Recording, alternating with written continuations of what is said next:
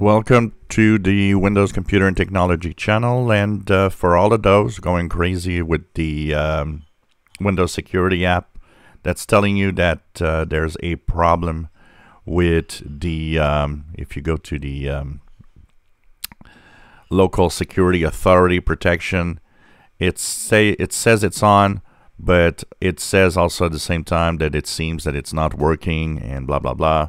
And I tell you all to click the dismiss button, and this is what you need to do. Don't go play in the registry. You don't need to do that. I see some of you going, oh, well, you know, you have to add the key. You have. No, it doesn't change anything. I've played with all of it. I tried everything. So it doesn't change anything. Don't go play for the, in the registry for nothing. It doesn't matter. What you need to do is simply click the dismiss button. It's going to ask you do you want to actually do changes in Windows? You click yes, and then you restart, and then it's okay.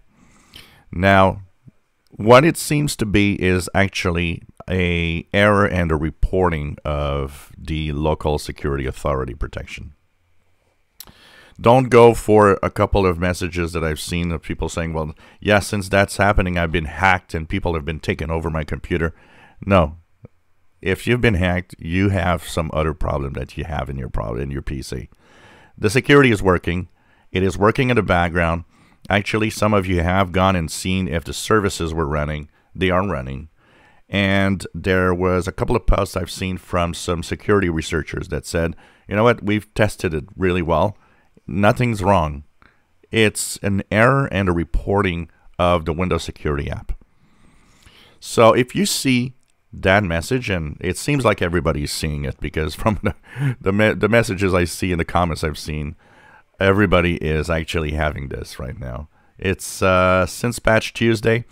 Uh, a couple of you have mentioned that it would maybe not the Patch Tuesday itself, but you seem to notice that it happened when the um, malicious software removal tool actually installed, which is possible since it has to do with security.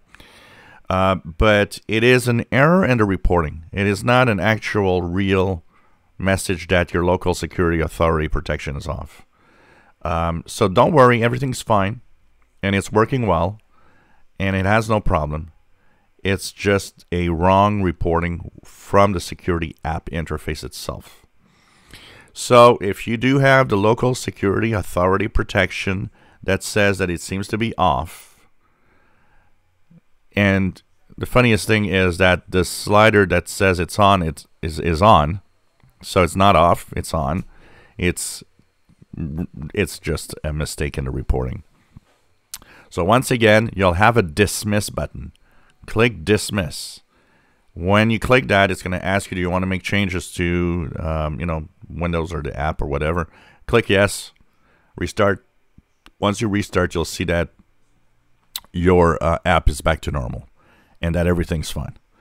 So don't worry. It, it it's not the message is not true in reality. Everything's working. Everything's working in the background. The security is there. The local security authority protection service is running.